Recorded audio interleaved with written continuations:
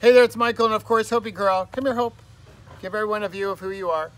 There she is. All right. So a couple weeks ago, I was recording an episode of the Heart Healthy Hustle Show with Jonathan Frederick. Now say that 10 times fast. Jonathan is an awesome sauce kind of guy. His podcast is totally worth listening to. And of course, Hopi loves it because he uses alliteration. You know, all those H's? Well, since this show speaks to young professionals, he asked me a very important question at the end of the interview.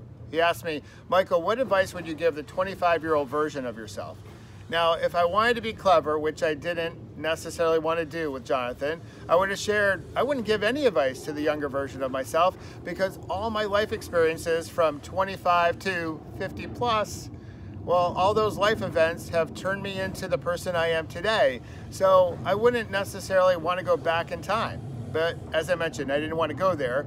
But I did want to share great advice with Jonathan and all of his listeners but I didn't want to be cliche, even though cliche advice sometimes work, you know, works like follow your passion, follow your purpose, play the long game, all that good stuff like that.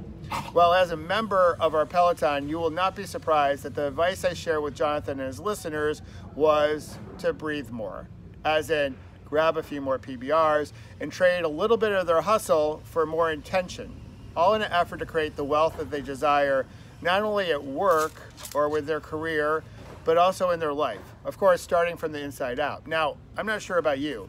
I thought that was pretty good advice, right, Hopi? Right? She says yes. Off camera, she says yes. You know, the type of advice that's right straight down the fairway. Well, during during that moment though, I felt compelled to share some other advice. And this advice works whether you're 25, 35, or 45. And here it is. Talk with your parents. Talk with your parents about how they wish to live. Listen to understand their perspective. Talk with them about uncomfortable things like money, selling their house, driving, or maybe not driving, and one day maybe moving into senior living. Talk to them about accepting, which is really hard, the toughest part of change, the toughest change that most of us face growing old, losing our independence. Growing up, we never talked about these things. Instead, we sort of ignored the elephant in the corner of the room.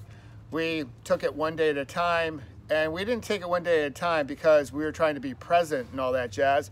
No, it was our way to avoid reality, or perhaps argue with reality. And unfortunately, you know this, that when we argue with reality, reality always wins 100% of its arguments. So talk to them about being grateful. Grateful when they only see unattractive options. Tell them that you love them even when they resist you on the need to change. And let them know as empathetically as possible, and maybe use Hopi to help out, The change is tough, but we need to change anyway. We need to make that change. Viktor Frankl once shared, when, we no when we're no longer able to change a situation, we are challenged to change ourselves. And the best way to change ourselves is to start with a conversation. And the best way to start a conversation well, you can start that by taking a breath. Until next week, Hopi says, have fun storming the castle, as do I. We'll talk to you soon. Bye bye.